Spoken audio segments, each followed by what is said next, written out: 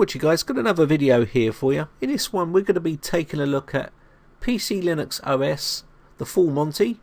It's a KDE and uh, what we're going to look at is the actual live CD build of it. Okay, now you can install this uh, but it's a bit of a hefty download. It's a 4 gigabyte download but if you've not used Linux before and you want to have trouble free uh, installation with all the programs already there then this is the one to go for. It is packed full of programs, whether you're a gamer, whether you're uh, video editing, or whether it's just uh, as a system, then this is the one to go for. So what we're going to do is reboot the system um, into the live environment so you can have a look at it. It's awesome, it really is. So let's have a look at the actual uh, ISO and boot to that now. So I'm just going to quickly reboot the system Okay, so here we are at the menu. What we're going to do here is going to go up to Live CD and uh, boot to that.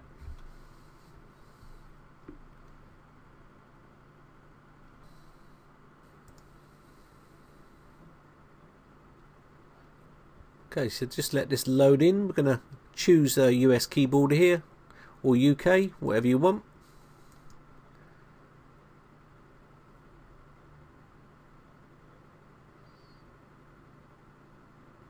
We'll just let this load up. It does take a bit of time because it's a bit of a beast to uh, load. Okay, so here we are at the desktop and this is the uh, first look that you're going to get.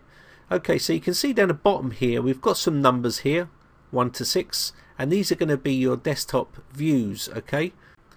Okay, so here we are at the full Monty desktop um, of internet and it's got six categories and six different internets, believe it or not one called Internet, Office, Games, Multimedia, Graphics and System. And they've built all these up with all the programs pre-installed on there so you don't have to have the hassle of trying to do that yourself which must have took an absolute age to build. Um, but if you're a beginner in Linux and you want everything all done for you already, then this is the one. It is really awesome, it really is. Give it a go. So let's take a look at the internet side of things and see what it's got to offer. Well, as you can see here, it's got all your programs pre-installed for you. You've got Pidgin, uh, Skype, XChat, um, Dropbox, um, KTorrent, and whatnot. Okay, and all you'd need to do is click on these, uh, and these would open up. Now we are on a live CD, so it may be a little bit slower. But there you go, we're straight off and running, and you can now do torrents from here if you wanted to. You can open up your browser. All you need to do is click on these and again we're on a live CD here. And as you can see pretty quick even on a live CD and as I said the list is endless full of programs. You've got all your browsers that you would need. So let's have a look at number two office. This is where you do all your office work. Maybe uh, you want to type up some letters or you know stuff like that. And you can do all that from here. Ebook viewer as you can see Foxit reader it's just loads and loads of functionality to this uh, CD. You know, you've got this sort of stuff coming up.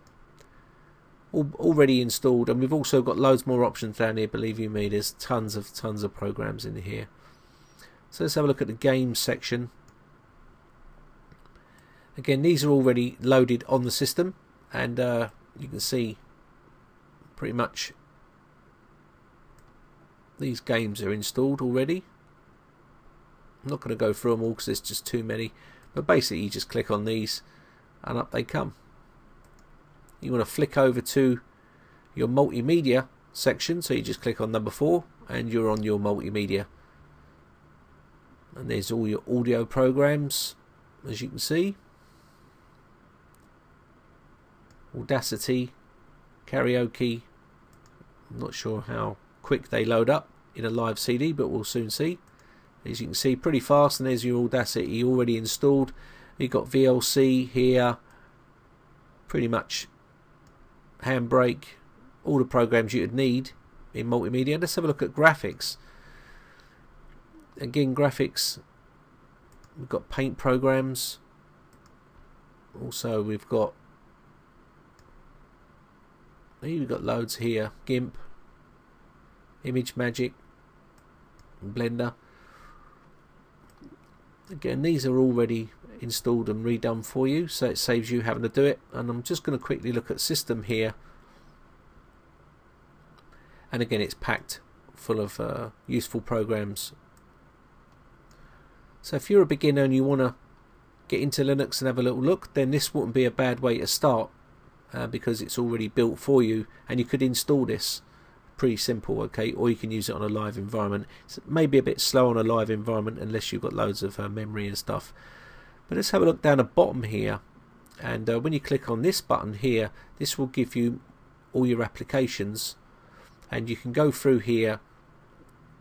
You can see there is quite a lot of different areas that you can go through. And let's have a look at graphics. And as you can see there is just an absolute ton of graphics programs there.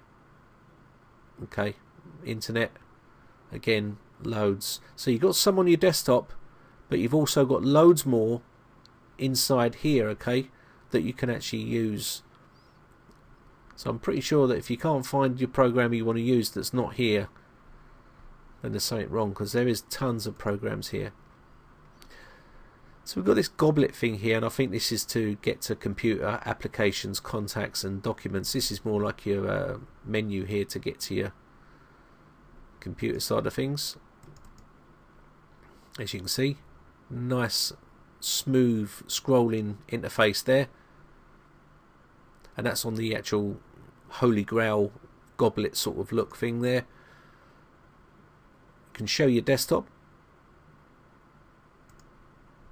and you just click on this and then you've also got your cabinets here. File manager. You've got your command prompt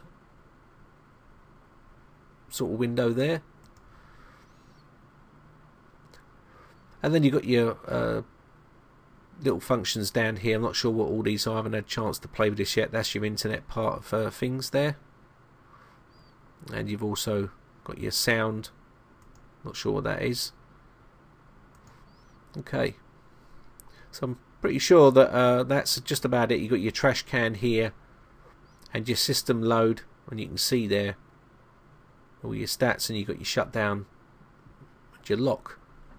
And I think that's going to be about that for this video. So let me just shut this off. Turn off this and shut this down so let's just load this back up to Windows here and that was running in a live CD there as you can see but if you wanted to install that into uh, an actual virtual box, you could do that. And I'll maybe make a video to share to do that. It's pretty straightforward and easy to do, okay? So I think that's going to be about it for this video. So I hope it's helpful for you and I hope you liked it. Uh, my name is Brian from briteccomputers.co.uk. If you enjoy these videos, hit that subscribe button, guys, and show support by rating and favouriting all my videos. And I'll make you more useful videos again in the future. So thanks again. Bye for now.